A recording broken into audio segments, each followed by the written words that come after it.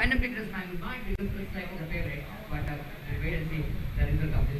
बिल्कुल सतीश, देखते हैं यहाँ पर क्या होता है। अंतिम ओवर, पहली गेंद, शुरू होता है absolutely brilliant and this time going to be a third umpire wide का भी इशारा हो चुका है।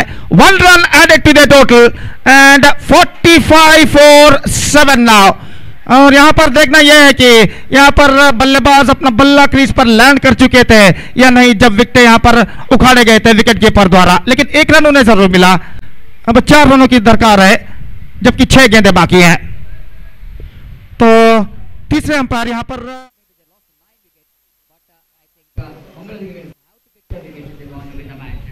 बिल्कुल सतीश देखते हैं। यतीन की गेंद ये गेंद, बेहतर absolutely fantastic four runs required five balls remaining so this is an absolute है अपनी ओर की अगली गेंद लेकर तैयार? The pressure is not building up on both side और नंबर दस बल्लेबाज जैद सामना करने के लिए तैयार. ये गेंद इस बार गेंद को स्वीप किया खूबसूरती के साथ. बैकवर्ड स्क्वायर लेग पर फील्डर पहुँचते हुए एक रन मिलेगा.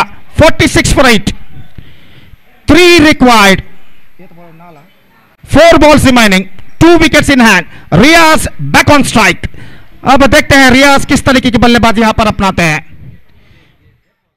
What a fantastic match is now progressing here और uh, इस वक्त यतिन गेंदबाज uh, यहाँ पर आगे बढ़ाते हुए।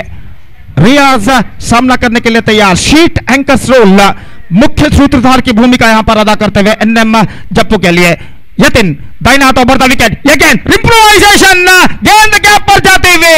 और बैकवर्ड थर्ड मैन पर गेंद पहुँच चुकी है। रन यहाँ पर मिलेंगे दो। तीस रन के लिए दौड़ पड़े। थ्रो पहुँचा स्ट्राइक लाइन पर लेकिन ओ इस बार निशाना लेकिन बल्लेबाज पहुंच चुके हैं and that three run brings NM Jappu got the victory so what a thrilling victory लेकिन ऐसा कहना पड़ेगा siddhis absolutely brilliant performance given by the players of Mangla Devi cricketers Well, okay, winning and losing is a part of cricket, but uh, I think uh, fantastic game, fantastic game of cricket we have witnessed in this uh, fe- the first match, uh, and Mangaladevi cricketers uh, g- g- really